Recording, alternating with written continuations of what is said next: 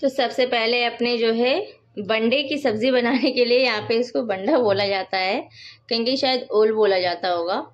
तो मैंने यहाँ पे सरसों का तेल गर्म करने के लिए रखा है। जो मैंने छोटे छोटे पीसेस कट करके रखे हैं ना इनको हम फ्राई करेंगे। इसे बड़े भी आप जो है कट कर सकते हो। इसे कोई बाउंडेशन नहीं है कि इतने इतना कट होंगे। मैंने थोड़ा छोटे छोटे किए क्योंकि ये गलते बहुत देर में है।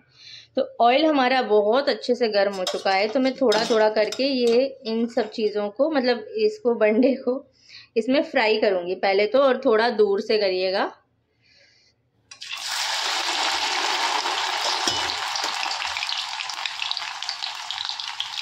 एक साथ सारे नहीं डालेंगे, पहले थोड़ा सा फ्राई करके निकाल लेंगे। दो बार में हो जाएगा। मैंने आधा डाल लिया है। तो ये देखिए कितने अच्छे से गोल्डन ब्राउन कलर के हल्के हल्के हो गए हैं हमारे जो बंडे के पीसेस हैं। इनको हम निकाल लेते हैं। आप किसी भी किचन पेपर पे निकाल सकते हैं नैपकिन पेपर पे निकाल सकते हैं। लेकिन क्योंकि फिर से सब्ज़ी में ही यूज़ होने हैं तो मैं ऐसे ही निकाल लूँगी। अगर मुझे इन्हें स्नैक के रूप में खाना होता तो मैं इनको किसी टिश्यू पेपर टाइप में ही निकालती। अच्छे से इनको निकाल के दूसरा वाला हम जो है, जो हमें हमारा सेट बचा है उसको भी फ्राई कर लेते हैं। फिर से बोलूँगी कि कटिंग की चॉइस आप लोग पे डिपेंड है। चलिए हम लोग दूसरा सेट भी अपना जो है फ्राई कर लेते हैं।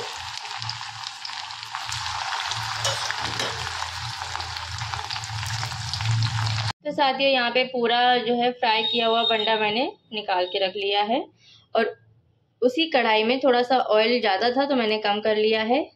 लगभग होगा छः से सात टीस्पून ऑयल इतने बंडे में इतने तो लग जाएगा। यहाँ पे थोड़ा सा मैंने अजवाइन, मेथी, दाना, लौंग, बड़ी इलायची, थोड़ा सा टुकड़ा, जायफल का है दो, छोटी इलायची छोटी इलायची और दो छोटे छोटे दालचीनी। को ऐड कर देते हैं। इसी में मैं डालूँगी। ये मेरे पास कुछ आठ से दस कलियाँ लहसुन की हैं। इन्हें मैं साबुत डाल दूँगी। आप इनको कट करके या फिर इनका पेस्ट भी डाल सकते हैं, जैसा अच्छा लगे। हल्का सा ब्राउनिश हो जाए। फ्लेम एकदम लो कराए मैंने, क्योंकि तेल बहुत अच्छे से गर्म हो चुका था। चलिए यहाँ पे लहसन भी अच्छे से हल्का सा ब्राउन होने लगा है। अब यहाँ पे मैंने तीन मीडियम साइज़ के प्याज को बारीक बारीक चॉप कर लिया है। ऐड कर देते हैं। और बंडा मेरा जो है हाफ़ के जी के जितना वज़न का था, उस हिसाब से मैंने यहाँ पे तीन मीडियम साइज़ के प्याज लिए हैं। अगर आप ज़्यादा पसंद करते हैं तो एक आध बढ़ा लीजिएगा। वैसे इतना सफिशियंट है, कोई भी चीज़ ज़रूरत से ज़्यादा अच्छी नहीं लगती। अच्छे से प्याज को हल्का हल्का ब्राउन करने तक भून लेते हैं। चार पाँच मिनट लग जाएगा। फ्लेम मेरा मीडियम है, मैंने अभी कर लिया है। देखिए फ्रेंड्स मीडियम फ्लेम पे पाँच छः मिनट अच्छे से भून लिया। प्याज देखिए बढ़िया ब्राउन हो गया है। बस जलाना नहीं है, हल्का हल्का ब्राउन कर लेना है। अब इसमें ऐड करूँगी कुछ सूखे और पिसे हुए मसाले। यहाँ पे एक चम्मच धनिया है, आधा चम्मच से थोड़ा सा ज़्यादा गरम मसाला है, आधा चम्मच से थोड़ा सा ज़्यादा नमक है, आधा चम्मच मेरा कश्मीरी लाल मिर्च पाउडर है, आधा चम्मच मेरा रेगुलर लाल मिर्च पाउडर है और एक तिहाई चम्मच हल्दी है। तो ये सब डाल देते हैं। अच्छे से एकदम स्लो फ्लेम है तो मिक्स कर लेते हैं और फिर थोड़ा थोड़ा पानी डाल के इसके साथ भी हम जो है बढ़िया से भून लेंगे चार पाँच मिनट तक।